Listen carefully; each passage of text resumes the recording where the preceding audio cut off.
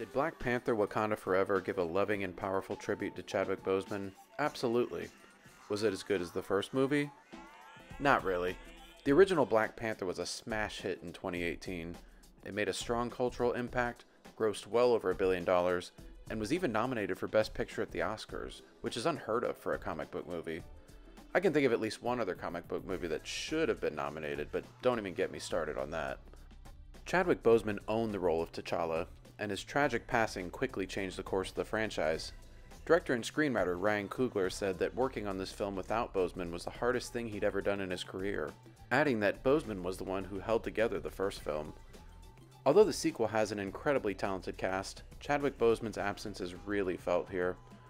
Let's start with what I liked about Wakanda Forever. As I already mentioned, they give a beautiful tribute to Boseman in the beginning by giving the character of T'Challa a dignified send-off.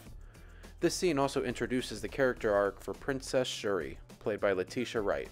Shuri is T'Challa's younger sister, who tries and fails to create a healing herb just before his death. Shuri played a supporting role in the original, and was mainly the character who provided the gadgets and the comic relief.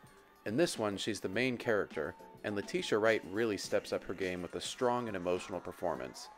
It was nice to see a more serious and sometimes even dark side to Shuri. No more moments like the original when she yells, What are those? Angela Bassett absolutely nails it. She's always been a consistently great actress, and this might be the most powerful performance of her career. The relationship between her and Shuri is nice too. While the original Black Panther dealt with fathers and sons, this time it's the mother daughter relationship that's the heart of this movie. Winston Duke is awesome as M'Baku. The guy has such a great screen presence, and his character serves as a nice addition to Wakandan political discussions. While he respects the throne, he's also not afraid to challenge the Queen's opinions. And it's also hilarious to see this guy who's built like a tank munching on a carrot stick. You bald headed demon is probably the best line in this movie. This movie does have some problems. Namor, the film's antagonist, isn't bad. He just doesn't make as much of an impact as Eric Killmonger in the first movie. Killmonger's motivations are slowly revealed in a clever and efficient way, and he's shown to have a deeply personal connection to T'Challa. Namor's motivations are explained in a long flashback info dump. He also doesn't have that personal connection with Shuri the way Killmonger did with T'Challa.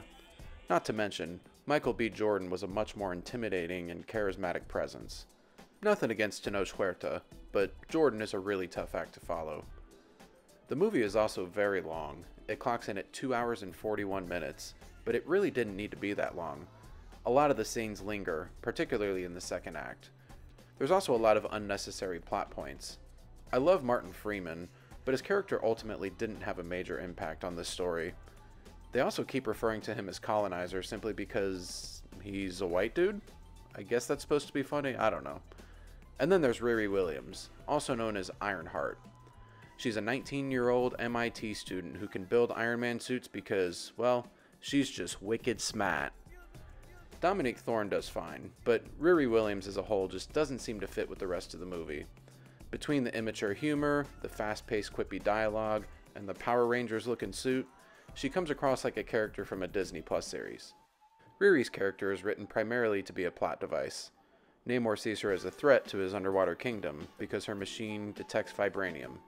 He believes killing her is the only way to protect his kingdom's location, even though the CIA would have already had that marked, so killing Riri really does nothing. Not to mention, Namor even admits that there might be other scientists who could build a similar machine, so there's really no reason to threaten Wakanda with violence over her. And taking away this plot point could have cut down the movie's runtime by a lot. There are plenty of more efficient ways the script could have introduced conflict between Namor and Wakanda, and a long detour that involves the good guys kidnapping a college student just isn't it. How does Wakanda Forever rank in Phase 4 of the MCU? I'd put it in third place, just behind Shang-Chi and way behind No Way Home. Overall, it has some good moments and performances, but the plot was long-winded and convoluted at times, and I prefer the simplicity and personal stakes of the original. If you like this video, please hit like and subscribe, and I'll be bringing more content. Thanks for watching, and I hope you all have a good one.